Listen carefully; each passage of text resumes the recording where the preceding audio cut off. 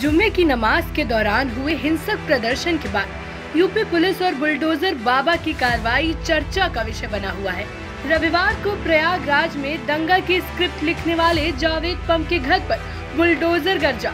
बताया जा रहा है कि दंगा के निर्देशक निर्माता का घर जब गिराया जा रहा था, तब वहाँ किसी भी चुनौतियों से निपटने के लिए दस हज़ार जवान मौके पर तैनात थे। एक तरफ़ घर गिराया जा रहा था, वहीं विपक्ष कट्टर पंथियों और लिबरल गैंग की ओर से छाती पीटी जा रही थी।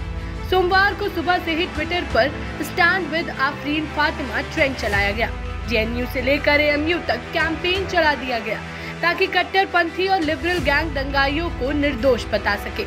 हम आपको हिंसक झड़प की पटकथा लिखने वाले बाप बेटी से मिलवाते हैं, जिन्होंने केवल अपना नाम बुलंद करने के लिए निर्दोषों के हाथ में पत्थर पकड़वा दिए। जो तस्वीर देख रहे हैं आप, ये है दंगा में मास्टरमाइंड जावेद मोहम्मद उर्फ़ जावेद पंख। इलाके में इनका प्रेशर इतना था कि इनके कहने मात्र से ही प्रदर्शन दंगा में बदल गया।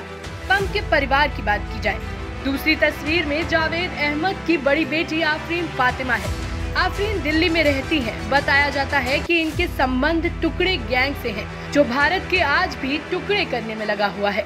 जानकारी के मुताबिक आफरीन जवाहरलाल नेहरू विश्वविद्यालय में पढ़ाई कर रही हैं। इसके साथ ही आफरीन फातिमा जेएनयू में स्टूडेंट यूनियन की काउंसिलर है। देश में जब जब प्रदर्शन हिंसा या दंगा हुआ तब तब आफरीन के नाम आसमान पर दिखाई दिए। C CA protest Shaheen Bagh JNU हिंसा हिजाब कई मौकों पर आफरीन आफत बनी रही। बताया जाता है, आफरीन ने एंटी सीए प्रोटेस्ट में बढ़ चढ़ कर हिस्सा लिया था। शाहीन बाग में आंदोलन के दौरान आफरीन फातिमा जेएनयू से लेकर इलाहाबाद तक सक्रिय रही थी।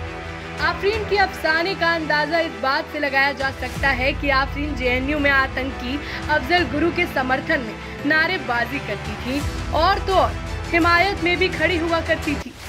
कहा यह भी जाता है कि वो देशद्रोह का मुकदमा का सामना कर रहे शर्जील इमाम के संपर्क में थी। वहीं मीडिया रिपोर्ट्स के मुताबिक आफरीन का जन्म प्रयागराज में हुआ था। आफरीन ने ग्रेजुएशन के लिए अलीगढ़ मुस्लिम विश्वविद्यालय में दाखिला लिया, जबकि एएमयू से लिंग्विस्टिक्स में बीए ऑनर्स और एमए किया। आफरीन एएमयू में पढ़ाई करने के दौरान ही छात्र राजनीति में सक्रिय हो गई थी। तभी से वो छात्रों की समस्याओं पर अपने विचार प्रमुखता से ज़ाहिर करती रही है। फ़िलहाल प्रयागराज पुलिस पंप के पेज को खोलने में लगी हुई है। पुलिस का कहना है कि अगर वो भी इस मामले में दोषी पाई गई तो दिल्ली पुलिस से संपर्क कर, अपनी टीमें वहाँ भेजकर उसे हिरासत में लिया जाएगा। बहरहाल, आफरीन के बारे में खौफनाक जानकारी सामने आने के बाद पुलिस उसके पुराने रिकॉर्ड्स को खंगालने में जुटी है। Political desk Janhit Times.